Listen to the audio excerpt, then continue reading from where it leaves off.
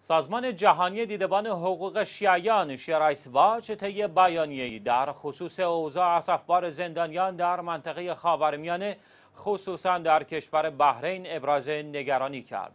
در این بیانیه که نسخه از آن به خبرگزاری شیع ویوز رسیده آمده است، سازمان جهانی حقوق بشر در هجدهم ماه جاری میلادی گزارش خود درباره رفتارهای غیر انسانی رژیم بحرین با زندانیان و بازداشت شدگان به ویژه فعالان مدنی را ارائه کرده است که مورد تایید شیرایس واش نیز قرار گرفته است. این بیانیه در ادامه افزود این گزارش های موثق در مورد رفتارهای ناشایست حکومت آل خلیفه با فعالانی است که انتقادها و یا اعتراضات مسالمت آمیز داشتهاند.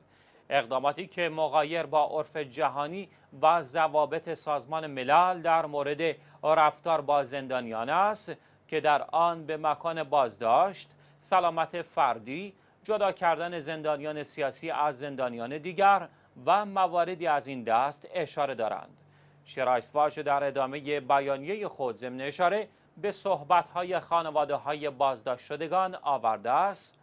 حکومت‌هایی مانند بحرین معترضان خود را با غل و زنجیل به زندان می‌افکنند که این رفتار با ماده 47 و 27 و 31 استانداردهای بین المللی مغایرت دارد.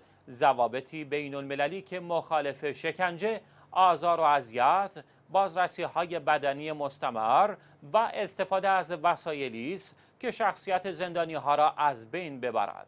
سازمان جهانی دیدبان حقوق شیعیان شیرایس واچ در پایان بیانیه خود از بحرین و دیگر حکومت ها به ویژه حکومت های خاورمیانه خواست تا به قوانین بین المللی حقوق بشر در حق بازداشت شدگان عمل کنند و سازمان های بین المللی درخواست کرد تا برخوردی راهگشا با این گونه اقدامات غیر انسانی داشته باشند.